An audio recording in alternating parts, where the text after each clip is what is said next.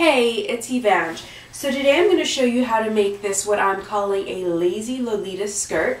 And the reason I'm calling it a lazy skirt is because I'm using elastic.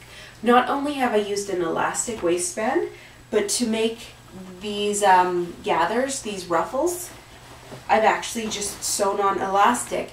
And if anyone's familiar with the way I sew, the way I like to make things, you'll know that I like things very, very tailored, very fitted, very crisp. So elastic for me is lazy. Um, that's basically it. So uh, yeah, this skirt is really cute. Um, I, I, guess uh, this particular one I think looks kind of like Little Bo Peep. Um, I'm not sure if this counts as Sweet Lolita or Classic Lolita or maybe Hime or Heim. Not sure how it's said. Um, but yeah, it's a, a pretty cute skirt I think. Um, and it's actually really, really simple once you break it down into its components. So keep watching. This is going to be a tutorial on how to make it. Also, you can check out my website, www.evangesews.com for patterns and step-by-step -step instructions, uh, just in case anything in the tutorial isn't clear. So to start, I've just cut out a half circle skirt. A half circle skirt is just a variation on a full circle skirt, um, and if you're unsure about how that works, you can um, check out my video on circle skirts. But um, basically what I've done is I've measured my hips, not my waist, my hips, and I've multiplied by two, found the radius, and then, you know, cut out the, the pattern. Um, but uh, the reason I've used my hip measurement and not my waist measurement is because this is going to be elasticized at the top, so it's going to have to pull on over my hips. So that's why I've used my hip measurement.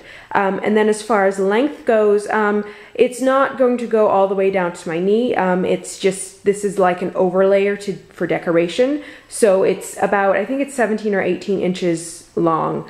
Um, so I'm just going to sew that into a skirt.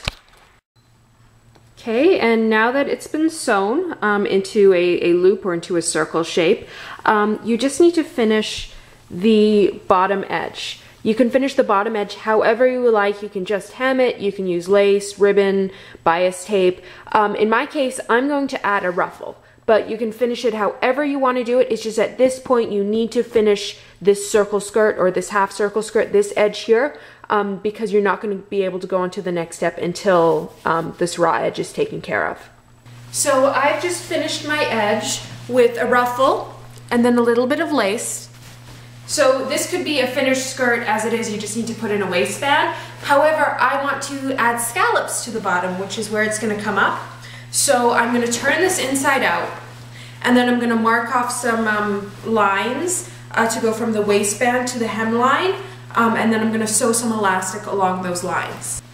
So I've got a line marked off on my fabric. It goes from the hemline to the uh, waistline. Uh, and what I'm going to do is I'm just going to take a piece of elastic and I'm going to sew it from the hemline to the waistline, stretching it as I sew.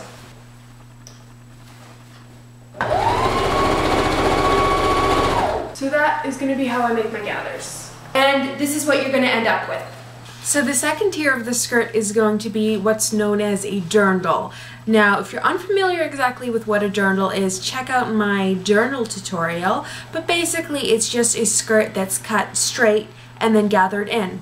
So what I've done, I've cut out three panels of fabric. Um, it's just, you know, the width of the fabric as it came on the bolt, which in this case is 45 inches. And then the length, it's um, the length just from the top to wherever you want the skirt to end, plus seam allowance, plus hem allowance. So it's pretty straightforward. So I've cut out three pieces of fabric like this. I'm just gonna sew them in a loop.